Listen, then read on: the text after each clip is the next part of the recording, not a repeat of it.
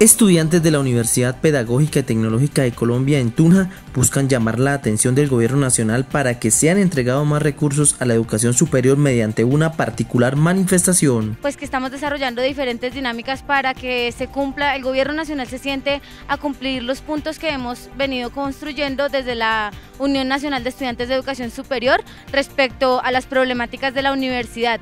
Hacemos también esta ayunatón como muestra de apoyo a los compañeros de la Universidad Tecnológica de Pereira que completaron más de 36 horas en huelga de hambre. Durante 24 horas, estudiantes de la Facultad de Salud realizan de manera pacífica un ayunatón para llamar la atención del gobierno nacional y la comunidad. Estamos dando pues una muestra de movilización pacífica. El mensaje al gobierno nacional es que necesitamos que se sienten a dialogar con los estudiantes, que nosotros venimos entablando pues unas dinámicas de diálogo también dentro de lo local, pero que la apuesta es nacional, la apuesta es mucho más grande y no únicamente por financiación, sino también por la defensa de la universidad, autonomía, calidad, democracia. En las próximas horas se llevará a cabo una marcha desde Sogamoso hasta la capital boyacense.